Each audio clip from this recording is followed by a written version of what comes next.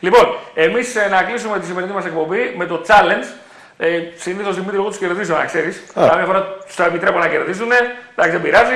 Λοιπόν, ε, Super League by Betson, με τις αποδόσεις της Betson. Ο κύριος Ραπτόπουλος έχει δώσει Άρης Πας Γιάννενα over 2,5. Ο κύριος Καρατσαφέρη 2-3 τρέματα. Εγώ γκολ γκολ. Λεβαδιακός όφι over 2,5. Ο κύριος Ραπτόπουλος διπλό. Ο κύριος Καρατσαφέρη over 2,5 εγώ.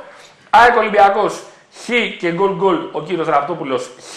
Ο κύριος Καρατσαφέρη 2-3 τρέματα εγώ. Ατρόμητος Παναθηναϊκός πενάλτη, όπως έλεγε ο Δημήτρης Μελισανίδης, διπλό ο κύριος Καρατσαφέρη, άντερ 2,5 εγώ. Ιωνικός Αστέρας Τρίπολης 2-3 τέρματα ο κύριος Ραπτόπουλος, άσο ο κύριος Καρατσαφέρη, άσο εγώ. Πανετολικός Λαμία 2-3 τέρματα ο κύριος Ραπτόπουλος, χ2 ο κύριος Καρατσαφέρη, άσο εγώ. Και βόλος Πάοκ, over 3,5 ο κύριος Ραπτόπουλος, διπλό ο Γιάννης Καρατσαφέρη και διπλό και over 2,5 εγώ.